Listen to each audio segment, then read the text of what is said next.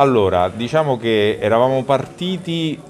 eh, un po' pessimisti perché diciamo che avevamo una delle due spolette che dovevamo rimuovere che era molto ammalorata e quindi temevamo di non, di non riuscire a rimuoverla con le procedure ordinarie. In realtà eh, l'operazione è andata bene perché già siamo riusciti a rimuovere entrambe le spolette e quindi poi noi le porteremo in cava e fondamentalmente riusciremo quindi a completare l'operazione con successo. Rispetto alla volta scorsa diciamo che abbiamo trovato questa bomba d'aereo sotto massi una massicciata ferroviaria e quindi abbiamo in un certo senso pensato che questa, questa bomba fosse stata posizionata lì volontariamente perché comunque abbiamo trovato anche eh, lo stato di conservazione dell'ordigno era veramente buono e quindi fondamentalmente abbiamo pensato che lì fosse stato messo per una demolizione predisposta che finalizzata proprio a far cadere il ponte all'epoca.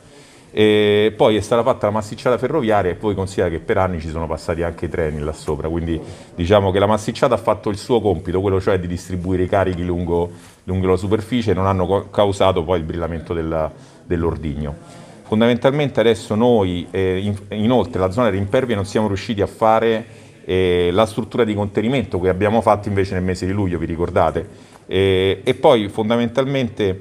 noi andremo adesso e una volta che abbiamo, dobbiamo soltanto adesso ci rimane da far eh, brillare le due spolette e portare l'ordigno in cavo e poi br faremo brillare completamente eh, l'ordigno. Abbiamo sgomberato eh, la zona nel raggio di 826 metri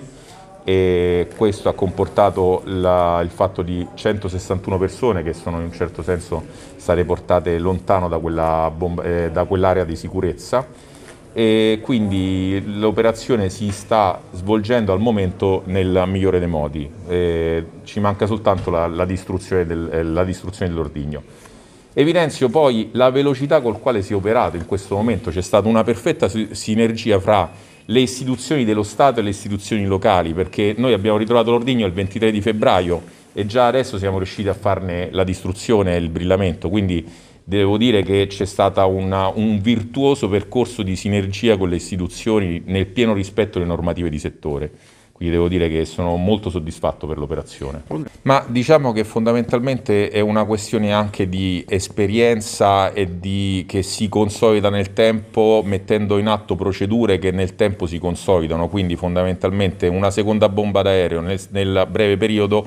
ha comportato il fatto che sono state messe in campo e in atto delle tecniche, tattiche e procedure fra le varie istituzioni che si erano consolidate nel, nel, periodo precedente e che adesso tutti ne abbiamo beneficiato, la popolazione perché comunque abbiamo lavorato in completa sicurezza e in brevissimo tempo abbiamo messo in sicurezza un'area che poi permetterà di ri riniziare i lavori da parte delle ferrovie dello Stato. Diciamo che il ritrovamento di questi ordigni fondamentalmente è, è correlato con eh, i lavori, quindi più lavori ci sono e più è facile ritrovare ordigni in, a carattere generale. Ovviamente siamo in un'area che è stata coinvolta come, come noto dall'operazione Avalanche, quindi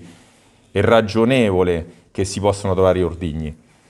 Quindi laddove si facciano dei lavori e vengano fatti dei cantieri eh, è molto più probabile che vengano ritrovati degli, degli, ordigni. Questo comporta il fatto che vuol dire più ordigni si ritrovano e magari è maggiore il numero di lavori che vengono fatti perché è, è correlato con questo.